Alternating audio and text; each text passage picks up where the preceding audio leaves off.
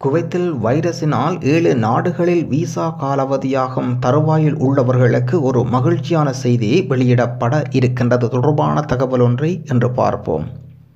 India இலங்கை உட்பட ஏழு நாடுகளின் மக்கள் குவைத்துக்குள் நுழைவதை இடைநிறுத்த அதாவது தற்காலிகமாக தடை முடிவு வெளியிட்டது முதல் குவைத்தின் ஃபர்வெனியா பாஸ்போர்ட் அலுவலகத்தில் ஏராளமான குடியிருப்பாளர்கள் வெளிநாட்டினர் தங்கள் விசா பற்றியும் சட்டபூர்வமான நிலை பற்றியும் விசாரிக்க திரண்டனர்.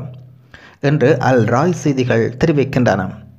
தற்போதுள்ள சூழ்நிலையில் குவைத்துக்கு வெளியே இருக்கும்போது விசா நிறைவடையும் தருவாயில் உள்ளவர்கள் குடும்ப விசிட் விசா எடுத்தவர்கள் வியாபாரம் சம்பந்தப்பட்ட தேவைக்கு வருவோர்கள் விசா குறித்து அறியவும்.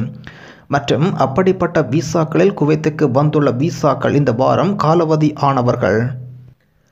மற்றும் விசா காலாவதியாகும் தருவாயில் உள்ளவர்கள் உட்பட பலரையும் காண முடிந்தது என்ற செய்திகள் தெரிவிக்கப்பட்டுள்ளது. இதையடுத்து தடை உத்தரவு அமலில் உள்ளதனால் தற்போது நாட்டில் உள்ள குடும்பம் மற்றும் வணிக விசாவில் தங்கியுள்ள நபர்களின் ஸ்பான்சர்கள் ஏழு நாட்கள் முதல் பதினான்கு நாட்கள் வரை மேலும் விசாவை நீடிக்க வாய்ப்புகள் இருப்பதாக பாதுகாப்பு வட்டாரம் அறிவித்துள்ளது. இது தொடர்பான அமைச்சரவை ஒப்புதலுக்கு பிறகு இன்று அல்லது நாளை ஒரு சுற்றறிக்கை வெளியிடப்படும் என்று எதிர்பார்க்கப்படுகின்றது உள்துறை அமைச்சக அதிகாரி அனாஸ் அல் சலா தெரிவித்துள்ளார் என்று பத்திரிகை செய்திகள் தெரிவிக்கின்றன.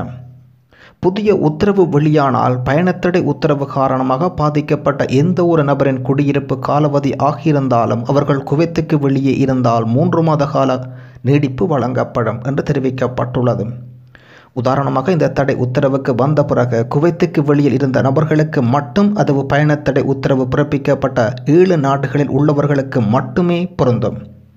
விரைவில் இந்த உத்தரவு வெளியாகும் என்று அனைவரும் நம்புவோம் பிரார்த்திப்போம். மொழியாக்கம் குவைத் தமிழ் பசங்க ஃபேஸ்புக் லைக் பேஜ்